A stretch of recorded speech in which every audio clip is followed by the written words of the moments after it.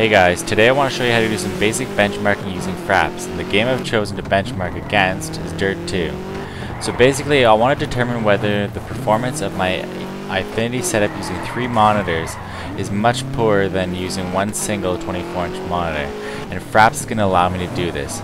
So let's get out of this game, let me show you the interface of Fraps and some of the different options you have in the interface. If you go to the FPS tab here, you can see that all our benchmarking options are listed. You can choose the directory to which you want to save all your benchmarking tests to. You can choose the hotkey in which to enable benchmarking during gameplay. You can select the hotkey as well to display your FPS overlay. And then there are three different benchmarking settings here, each of which will create a different CSV file so you can do some analysis. So your first one is FPS, which will display the frames per second at each second of gameplay.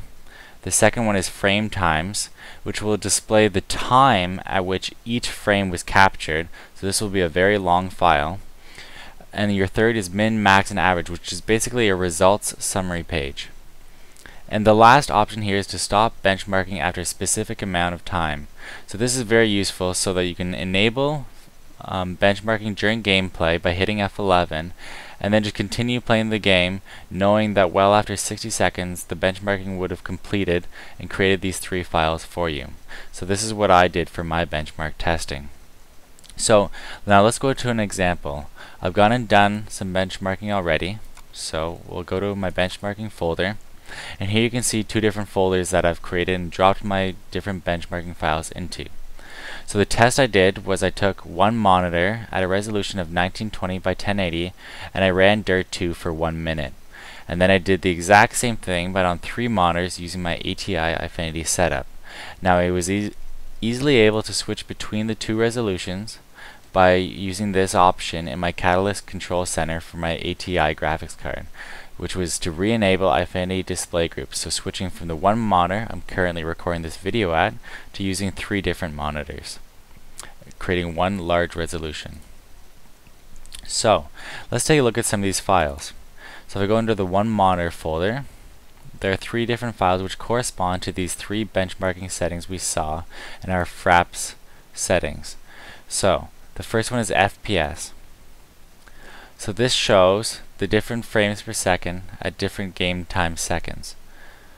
So you can see the kind of range between approximately 104 frames per second and somewhere in about 81 frames per second on, the low end. So this is well above the 30 frames per second that the human eye can detect. So now if we go to the next file, frame times, you can see that it lists the time at which each frame occurred. So I don't know exactly what the use of this file is, but it's kind of neat. I guess it's some extra information. You can notice that this file is very, very long. So you're hitting about 580 frames in that 60 seconds of capture time that we had set in our Fraps settings. So now if we go to min-max averages, this is our results page.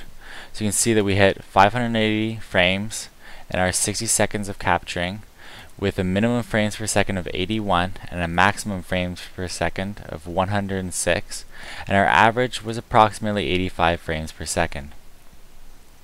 So now we're going to go and compare this data to our 3 monitor setup and see how slow our Eyefinity setup was or how great of performance it actually is for this system. So if we look at our frames per second file, you can notice already the values are much lower than using one monitor. Look at our frame times. Can't really tell too much from this unless you were to in-depthly analyze these numbers. Um, but you can notice that by scrolling down, we're already noticing that we're not getting as many frames in those in those 60 seconds. So this is already telling us something. Now if we look at our results page, you notice that we hit 2,925 frames in the 60 seconds of capture, um, at which we hit a frames per second of 39 at one point on the low end, which is still above 30 frames per second, but it's getting pretty close, which means that the system is just handling these three monitors in Eyefinity um, running Dirt 2 on high resolution. And on the max end we hit 55 frames per second which is a great average but our average ended up coming out at uh, approximately 49 frames per second which is still okay so this was a good side-by-side -side analysis of um, using one monitor versus three monitors. It's a good way to sort of benchmark your system. Now, perhaps you, you want to do a different sort of benchmarking in which you, you only you're only using one monitor. You know, you got your frames per second um, of let's say you know your your 85 frames per second, and then you wanted to go and uh, run your your graphics card in SLI, or perhaps add another stick of memory, and then run these tests again, and and see what your performance difference is. So these are the sort of um, concepts that you can do using uh, Fraps' benchmarking tool. So anyways, if you found any of this useful, please like the video, um, subscribe if you want to see any more videos, and uh, please check me out on Twitter. I'll see you guys again later. Bye.